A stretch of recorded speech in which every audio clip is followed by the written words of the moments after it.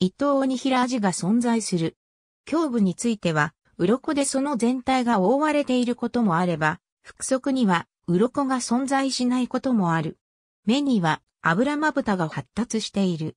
上顎外側には、剣士からなる隙間の広い歯列が、内側には重毛状歯からなる歯列が存在する。下顎には円錐状の歯からなる隙間の広い歯列が一列存在する。エラフ類数は24から27、椎骨数は24である。本種は特徴的な体色を持つ。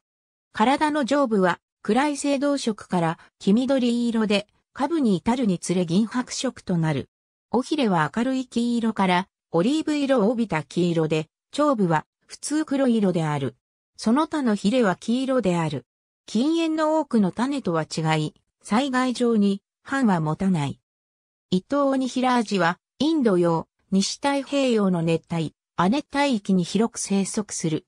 生息域は、西部では、南アフリカやマダガスカルから、東アフリカ沿岸に沿って、ペルシャ湾、航海まで北へと広がっている。生息域は東へそのまま伸び、インド、東南アジア、マレー諸島を含む。南はオーストラリア北部、北は日本、東はフィジーが生息域の端となっている。日本においては、鹿児島県南薩摩市の沖から採集された2個体の若菜に基づいて2007年に初めて報告された。これは本種の北半球からの初記録でもあった。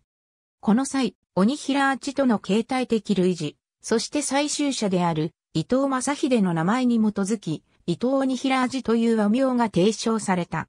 沿岸性であり、制御は水質のきれいな沿岸海域でよく見られ、幼魚は大きな湾やエスチュアリーでも見られる。制御はしばしば比較的深い岩礁や開けた砂地でも見られる。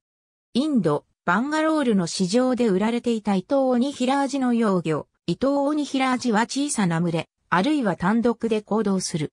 未制御は群れで行動することが多い。一年の間に回遊をすることが知られており、本種は南アフリカでは夏に流入する一方、インドではモンスーンが吹くと流入し、寒い時期をその海域で過ごす。本種は肉食魚であり、海底近くとより浅い海域の両方で獲物を捕食する。捕食対象には様々な魚、頭足類、エビやシャコ、カニなどの甲殻類が含まれる。繁殖については不明な点が多いが、産卵は熱帯域で行われ、生成熟には全長50センチメートルほどで達することが観察により推測されている。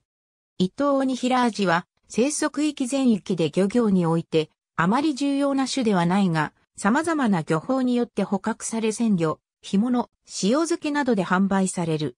釣りの対象として人気があり、魚やエカを餌として、あるいはルアーなどを用いて釣られる。水から引き上げたとき、しばしば小豚の鳴き声のような音を出すことが知られている。肉は美味であるとされるが、地域によっては寄生虫を媒介する事例も知られている。ありがとうございます。